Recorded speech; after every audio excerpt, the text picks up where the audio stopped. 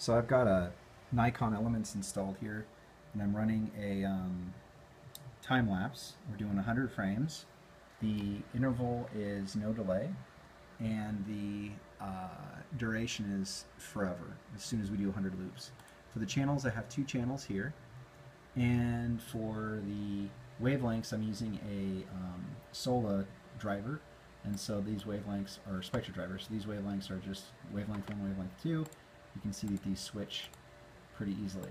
Now my camera is set up for very fast rates. I've got uh, one frame, effectively no exposure time, or as short as you can get it, and binning 4x4. Now if I hit a live window, I'll get the live window at some point here, and I'll get about 100 frames a second. Now that 100 frames a second is free run mode, and it's like I'm not getting 100 frames a second. Oh, there it is. That's a free run mode, so you can see here, frames per second is 101, and I'm looking at 9.8 milliseconds of lag.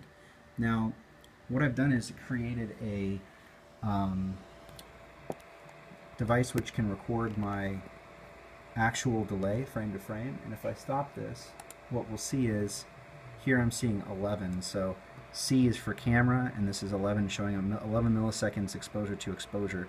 But if I watch that, it'll cycle uh, back and forth between roughly you know 9 to 11. So 9.8 mil, uh, milliseconds is about right.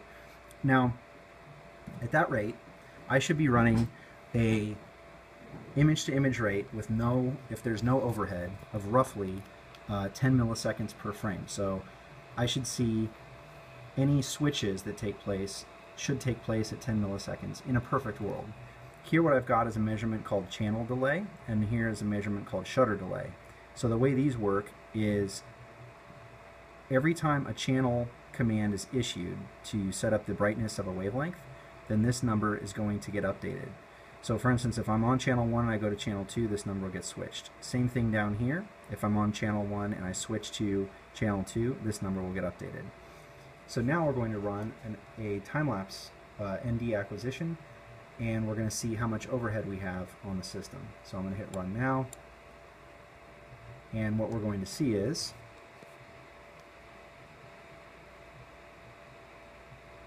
Sixty-four milliseconds. The shutter delay is um, changing due to the fact that sometimes the shutter is just opening and closing. But what we end up getting is a channel delay of 59 milliseconds. So that's channel to channel, we're seeing roughly 60 milliseconds.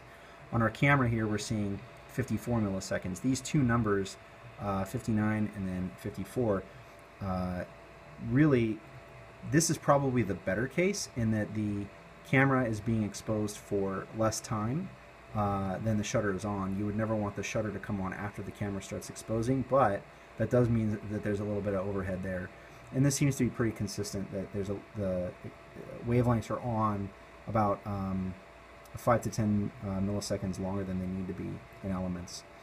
So this is uh, NIS Elements, um, I believe it's 4.22, running on an Andor Zyla camera. Uh, and next we're going to test other software applications to see how much delay they produce.